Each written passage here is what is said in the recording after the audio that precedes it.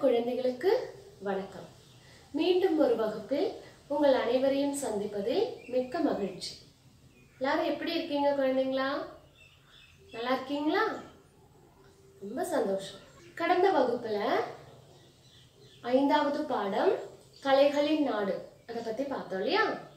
நமது கேரளா கலைகளின் நாடு என அழைக்கப்படுகிறது. அதுல கேரளத்தின் கலை வடிவங்களில் ஒன்றான விழாக்களை பத்தி நம்ம பார்த்தோம். அதுல குறிப்பா ஓணம் விழாவை பற்றி பார்த்தோம் இல்லையா? நமது பாடத்துல வர்ற நிலீனாவும் அவளுடைய பெற்றோரும் அவங்க ஊர்ல இருந்த ஒரு கோவில் திருவிழாவுக்கு போறாங்க. கோவில் திருவிழானா எப்படி இருக்கும்? நீங்கெல்லாம் போயிருக்கீங்க இல்லையா? ரொம்ப அழகா இருக்கும் இல்லையா? கோவில் திருவிழா அப்படின்னா அங்க என்னென்ன இருக்கும்? பாருங்க உங்களுடைய பாட புத்தகம் பக்கம் எண் ஐம்பதுல பாருங்க. பாத்தீங்களா? நிலினா கோவில் திருவிழாவுக்கு போயிருக்கிறா. அந்த கோவில் திருவிழா அந்த இடமே எப்படி இருக்குது பாருங்க. கோவில் திருவிழா அப்படின்னா அங்க என்னென்ன இருக்கும்? தோரணங்கள் இருக்கும். மக்கள் கூட்டம் கூட்டமா இருப்பாங்க. வண்ண பல்புகள் இருக்கும். முக்கியமா என்ன இருக்கும்? செண்டை மேளங்கள் இருக்கும். யானைகள் இருக்கும். யானைகள் இருந்தா என்னெல்லாம் இருக்கும்? வண்ண குடைகள் நெற்றி பட்டங்கள் வெண்சாமரம். இப்படி இதெல்லாம் இருக்கும் இல்லையா? நிறைய கடைகள் இருக்கும். அங்க நிறைய விளையாட்டு பொருட்கள் பலூன்கள் இதெல்லாம் இருக்கும். ராட்டினம் இருக்கும் இல்லையா? பெரிய ராட்டினம் இருக்கும். ராட்டினம் போல இன்னும் வேறு சில விளையாட்டு மையங்களும் அங்க இருக்கும். என்ன குழந்தைங்களா? ஒரு திருவிழா காட்சியை பார்த்தீங்களா? திருவிழானா என்னெல்லாம் இருக்கும் அப்படின்னு நாம இப்ப பார்த்தோம் இல்லையா? திருவிழாக்கு நீங்க போயிருக்கீங்க தானே? இதையெல்லாம் பார்த்துருக்கீங்களா? சரி. நிலினாவும் இந்த திருவிழாவுக்கு போயிட்டு ரொம்ப சந்தோஷமா அவ அந்த திருவிழாவில் கலந்து அதையெல்லாம் பார்த்ததுக்கு அப்புறம் திரும்ப வீட்டிற்கு வந்த பிறகு என்ன பண்றா தெரியுமா? அன்னைக்கு நடந்த அந்த நிகழ்ச்சிகளை எல்லாம் அவளுடைய நாட்குறிப்புல எழுதுறா. நாட்குறிப்புன்னு என்னன்னு தெரியுமா? நீங்க எழுதுற பழக்கம் உண்டா? அதாவது தினமும் நம்மளோட வாழ்க்கையில நடக்கக்கூடிய சில சுவாரஸ்யமான சம்பவங்கள் இருக்கும் இல்லையா? அதையெல்லாம் நாம ஒரு டயரியில எழுதி வச்சோம்னா கொஞ்ச நாள் முடிச்சு நம்ம அதை எடுத்து வாசிக்கும் போது அந்த மலரும் நினைவுகள் எல்லாம் ரொம்ப நல்லா இருக்கும்.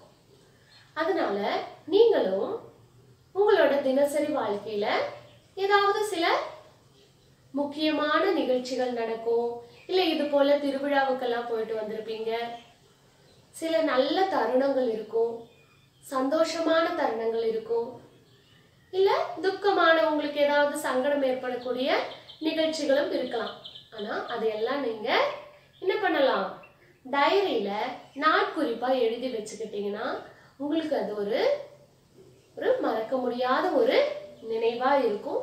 திரும்ப நம்ம எப்ப வேணாலும் அதை எடுத்து வாசிச்சுக்கலாம். அது போல ஒரு பழக்கம் நிலினாவுக்கு இருக்கு. நாட்குறிப்பு எழுதுற பழக்கம்.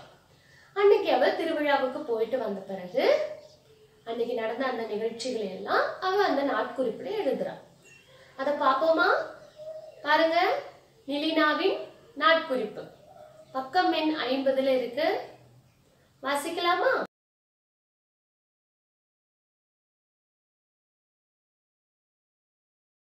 என்ன குழந்தைங்களா நிலீனாவின் நாட்குறிப்பை வாசிச்சீங்களா? இது போல நீங்களும் இந்த நாட்குறிப்பு எழுதுற பழக்கத்தை பழக்கப்படுத்திக்கோங்க. நிலினா திருவிழாவுக்கு போயிட்டு வந்த அந்த நிகழ்ச்சிகளை எல்லாம் நாட்குறிப்பை இல்லையா? திருவிழா நமது கேரள நாட்டின் கலை வடிவமான விழாக்கள்ல முக்கியமான ஒன்று இந்த கோவில் திருவிழாக்கள். நம்ம போன வகுப்புலயே பார்த்தோம். முக்கியமான விழாக்கள் எதெல்லாம்? எதெல்லாம்? ஓணம் விழா. அப்புறம் உங்களை எழுத சொல்லியிருந்தேன் இல்லையா? அதில் முக்கியமாக இந்த கோவில் திருவிழாக்கள் எல்லாம் நாம் கொண்டாடுறோம். அப்படிதான் திருச்சூர் பூரம். இதை கேள்விப்பட்டிருக்கீங்களா? ரொம்ப மிக சிறப்பாக கேரளாவில் கொண்டாடக்கூடிய ஒரு கோவில் திருவிழா தான் இந்த திருச்சூர் பூரம். உலகமெங்கும் அறியப்படக்கூடிய ஒரு திருவிழா. பாருங்க திருச்சூர் பூரத்துல என்னென்ன காட்சிகள்னு.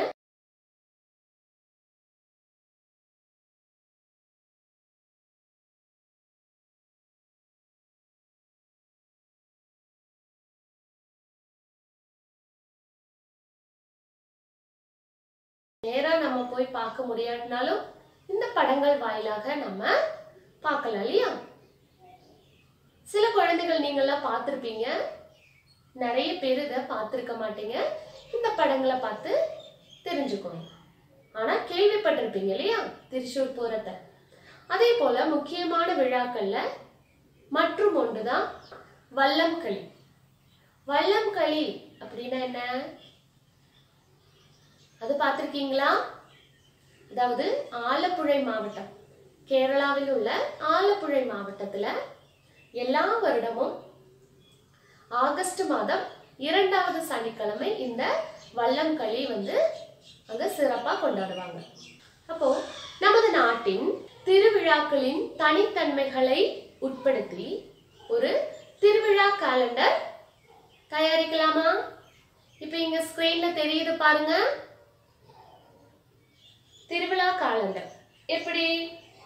மாதம் திருவிழாக்கள் தனித்தன்மைகள். உங்களுக்கு தெரியும் திருவிழாக்கள் எதெல்லாம் இப்போ ஓணம்.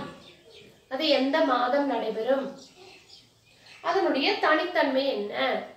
தனித்தன்மை என்ன? ஒற்றுமையின் ஓணம் இல்லையா? அதுபோல திருவிழாக்களை எழுதுங்க. அது எந்த மாதத்துல வருது? அதனுடைய தனித்தன்மை என்ன? இதை எழுதி உங்களுடைய ஆசிரியர்களுக்கு அனுப்பி கொடுக்கணும்.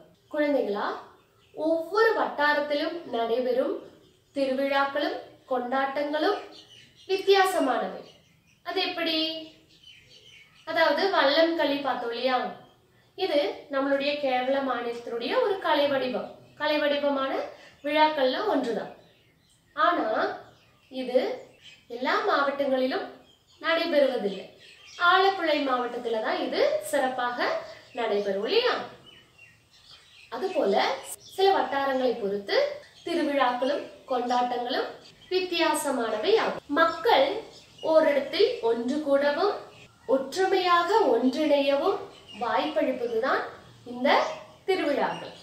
அந்த திருவிழாக்கள்ல முக்கியமான ஒன்றுதான் கலை வடிவங்கள். இந்த திருவிழாக்களை கலை வடிவங்கள் சிறப்புடையதாக்குகிறது.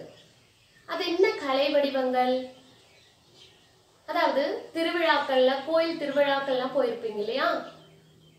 அப்போ சாயங்கால வேலையில ஒவ்வொரு நாளும் ஒவ்வொரு கலை வடிவங்கள் அங்க நிகழ்ச்சிகள் நடத்தப்படும். நடனம் பாடல் அதாவது இசை கச்சேரிகள் இதெல்லாம் அங்க நடத்தப்படும். என்னெல்லாம்?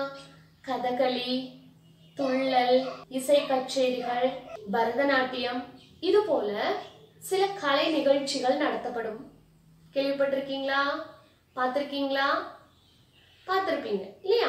இவற்றை தான் நாம கலை வடிவங்கள் அப்படின்னு சொல்றோம். கேரளா கலை வடிவங்களின் ஒரு நாடாகும். கேரளாவில் முக்கியமாக நிறைய கலை வடிவங்கள் இருக்கு. அதை பத்தி நாம இன்னைக்கு பார்க்க போறோம். முதல்ல துள்ளல். துள்ளல் ஒரு கலை வடிவம் ஆகும்.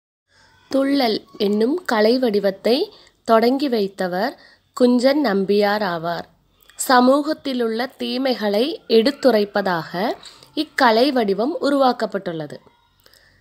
இதை மூன்று வகைப்படும். அது என்னலன்னா ஓட்டந்துள்ளல் பறையன் துள்ளல் சீதங்கன் துள்ளல் என துள்ளல் மூன்று வகை உள்ளது.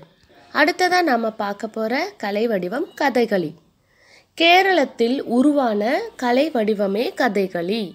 இதில் நடனத்திற்கும் நடிப்பிற்கும் சங்கீதத்திற்கும் முத்திரைகளுக்கும் ஒரே போல் முக்கியத்துவம் உண்டு. கடினமான பயிற்சியின் மூலம் மட்டுமே கதைகளி கற்க இயலும். கதைகளி கேரள கலைகளின் அரசன் என்று அறியப்படுகிறது. என்ன குழந்தைங்களா? இந்த கலை வடிவங்களை எல்லாம் பார்த்தீங்களா? குழந்தைங்களா உங்களுக்கு தெரிந்த கேரளத்தின் கலை வடிவங்கள். ஏதாவது சொல்லுங்க பார்க்கலாம். அது நம்மளுடைய பாட புத்தகத்துல பக்கம் எண் ஐம்பத்தி ரெண்டுல பாருங்க. துள்ளல் கதைகளி திருவாதிரைக்களி கோள்களி. இதெல்லாம் கொடுத்துருக்காங்க இல்லையா? இதெல்லாம் நமது கேரள நாட்டின் கலை வடிவங்கள்ல சிலவை. குழந்தைங்களா இங்க நாம சில கலை வடிவங்களை பத்தி பார்த்தோம் இல்லையா? அந்த கலை வடிவங்களின் சிறப்புகளையும் நாம பார்த்தோம். கேரள கலை வடிவங்களில் மேலும் சிலவற்றை பார்ப்போமா? இங்க பாருங்க. உங்களுடைய பாட புத்தகம் பக்கம் எண் ஐம்பத்தி மூணுல பாத்தீங்கன்னா சில கலை வடிவங்களின் படங்கள் கொடுத்துருக்காங்க இல்லையா? அந்த படங்களுக்கு கீழே அதனுடைய பெயரும் இருக்கு.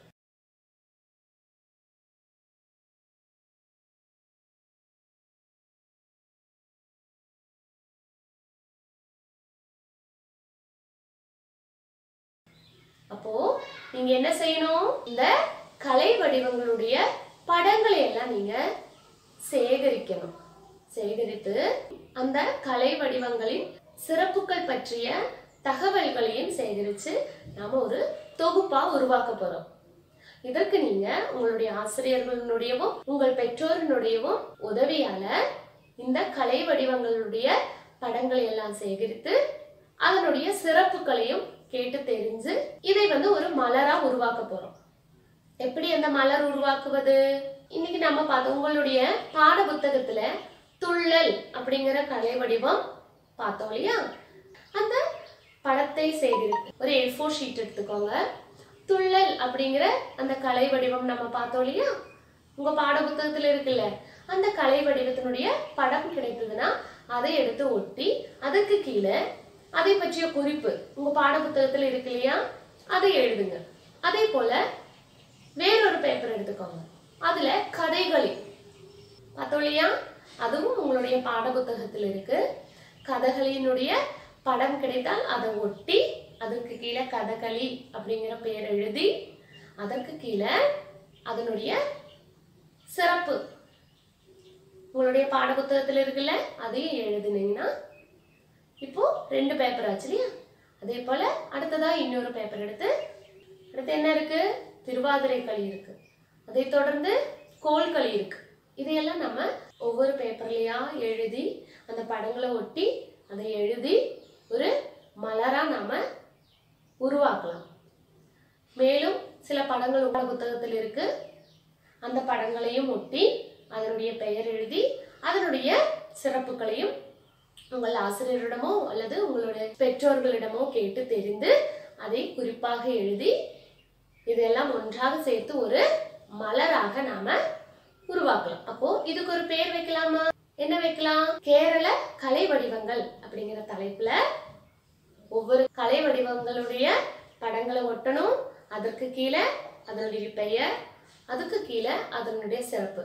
இப்படி ஒவ்வொரு பேப்பர்லையும் ஒவ்வொரு கலை வடிவங்களை பத்தி நீங்க எழுதி அதை ஒரு மலராக உங்களுடைய சேகரிப்புல நீங்க அதையும் சேர்த்து வைத்துக் கொள்ளவும்.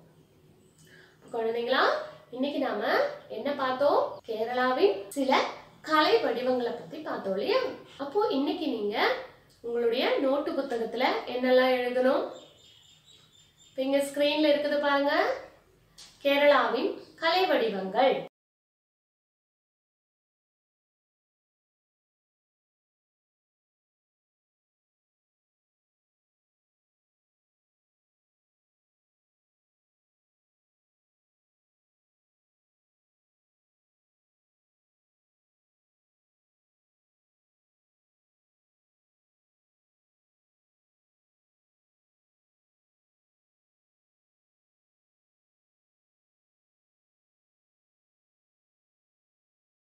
கேரள கலை வடிவங்கள் அப்படிங்கிற ஒரு மலர் உருவாக்க போறோம். ஒரு புத்தகம் உருவாக்கி பாதுகாப்பா வச்சுக்கோங்க. உங்களுடைய ஆசிரியர்களுக்கும் அனுப்பி கொடுங்க.